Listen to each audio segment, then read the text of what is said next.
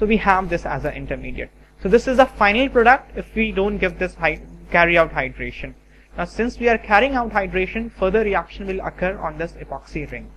But this is the product and this can be given as an individual reaction to you. We have a alkene and we have a peroxy acid and this is what we get, a three member epoxy ring. Fine. Now, now we are carrying out hydration, we are giving H plus H2O. What could happen? Now let me rub this off. Shall I rub this off? Okay. What can happen? We're adding H plus and H2 H plus will come and H plus will demand for electron. No one has electron except oxygen. So there's not much to think about. H plus will come and form a bond with oxygen. So what would it be like? Oxygen will form a coordinate bond with hydrogen. Fine, oxygen when forms a coordinate bond with oxygen, uh, hydrogen, oxygen gives its electron to hydrogen and oxygen attains plus charge on itself which oxygen do not like because oxygen is second most electronegative element plus charge on it is not stable. So something can should happen to remove out that plus charge from oxygen. So what can happen is oxygen must break one of the bond. So oxygen is making three bonds. It has to break one of the bond. It breaks this bond. Then we go back into the reaction. But there are lots of H plus. So there will be a pressure from for oxygen to form a bond with H plus. So this bond won't break. So either has it has to break this bond or this bond. So let me let me make it asymmetrical. Let me put R dash here. Fine. Suppose it breaks this bond. It breaks this bond in such a way that it gets neutralized. It will get neutralized when it gains electron, negative charge, because it is already having a positive charge. So this carbon from whom we are breaking the bond will have a positive charge. This carbon got a positive charge and oxygen is neutralized and happy. So we have this. Now I broke this in such a way that this R, considering that R is more stabilizing than R dash. If R is more stabilizing, then this carbon will gain plus charge. Suppose if R dash is more stabilizing, then a plus charge would have occurred on this carbon and we would have broken this bond. So depending upon R or R dash, which one is more stabilizing, corresponding carbon will gain plus charge. Fine. So we have a plus charge and we have water in the system. That water would come and offer its offer very humbly its electron to this carbon. This carbon will accept, but the problem would be then oxygen. Uh, let me rub this off. Then oxygen will gain plus charge. And we know how to get rid of that. If oxygen gains a plus charge, it removes off one of the hydrogen out. Fine.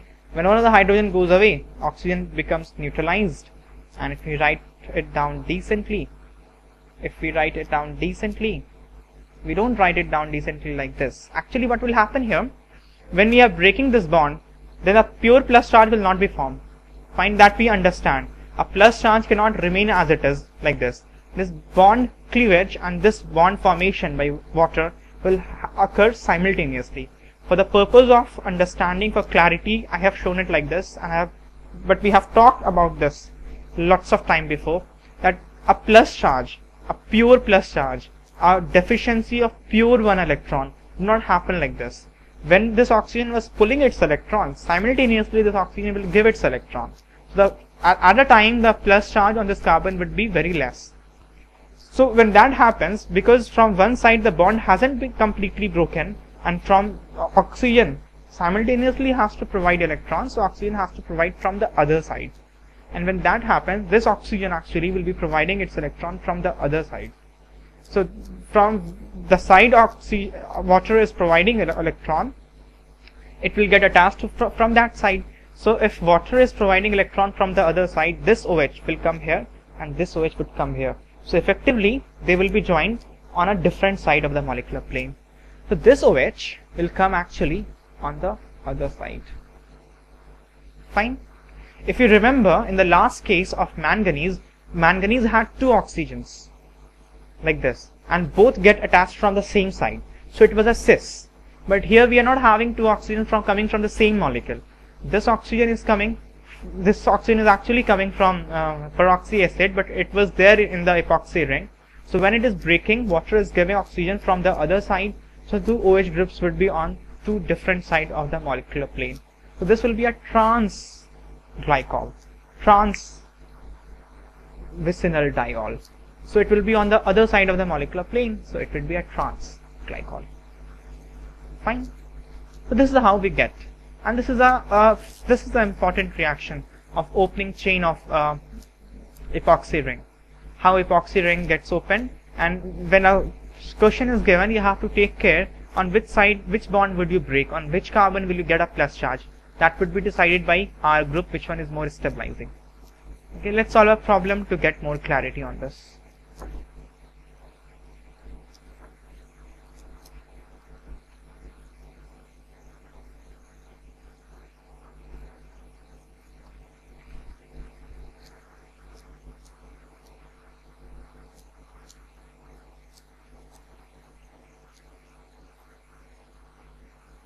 So let's learn how to open up the epoxy ring. Suppose I already have this. Suppose I had previously I had alkene.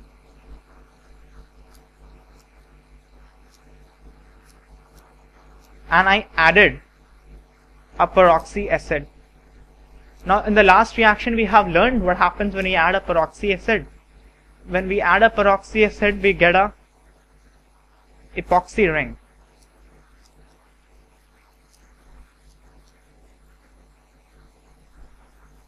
Fine. This we know. Now suppose I have to open up the epoxy ring. I added H plus H2O. Now you have to decide. This is carbon number 1, this is carbon number 1 and this is carbon number 2.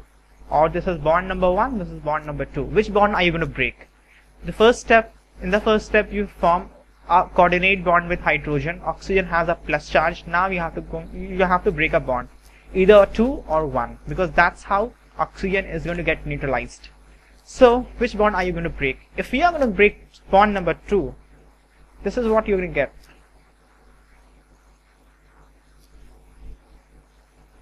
Ethyl on this side. If we are going to break bond number 1, then this is what you are going to get. So you have to decide which plus charge is more stable, which carbocation is more stable and accordingly you have to break. This carbocation is having a hyperconjugation. That's what you have you know the order of precedency. First you have to look resonance and then hyperconjugation and then inductive effect. Resonance is not operating here so come down to hyperconjugating effect. If you look from hyperconjugation, this carbon is having four hyperconjugating structure. Three from this side, one from this side. If you look at here, in ethyl, there this, this ET is actually CH2CH3, right?